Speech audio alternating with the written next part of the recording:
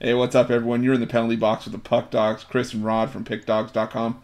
And Rod, well, we're taking a look at this Red Wings and Canucks matchup. NHL action on Saturday, October 16, 2021.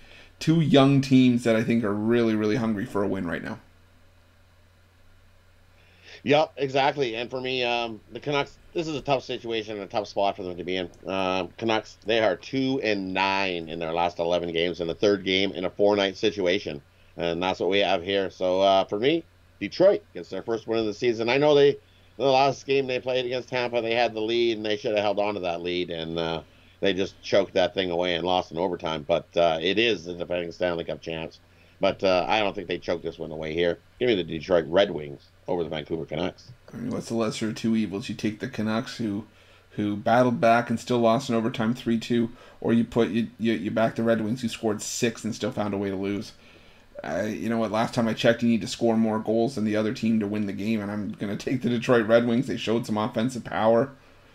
Ultimately, the defense let them down. I just think Alex Nedeljkovic or Thomas Greiss or whoever else you see in here, a better option in goal for than, than whatever Vancouver's putting out. But uh, Rod, speaking of, do you have any high hopes for the Vancouver Canucks this year, or is this another dead fish in the water? I think last season the Canucks just uh, that that COVID situation where they they all the team was at ninety percent of the team last season got COVID. Um, that kicked their butt. That that's why they had a bad season.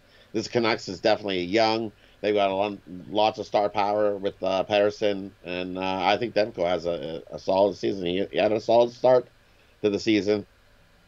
I know it was a loss, but he lost in overtime. Um, but the Canucks could be good. We might see the Canuck dance a few times.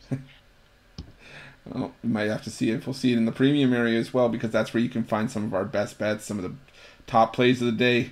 Whether it's Rod and I as part of our Puck Dogs package, or you go with each either one of us individually, or any one of the other fantastic handicappers on the website. Just go to pickdawgz.com, check the premium pick section. But while you're there, check out all the free content that we have. Also check out all the videos we're doing here at PickDawgz. We're doing it bigger and better than anyone else. And well, we got the morning show. Monday through Friday at 11 a.m. Eastern Standard Time. You get Rod with Brian Bitler, Mitch, and Joe Madden. Got myself co-hosting the drive through with Tony T. Monday through Friday at 6 p.m. Eastern. And we got those weekend morning shows starting at 10 a.m. Eastern Standard Time. Don't miss out on those. We'll see you then.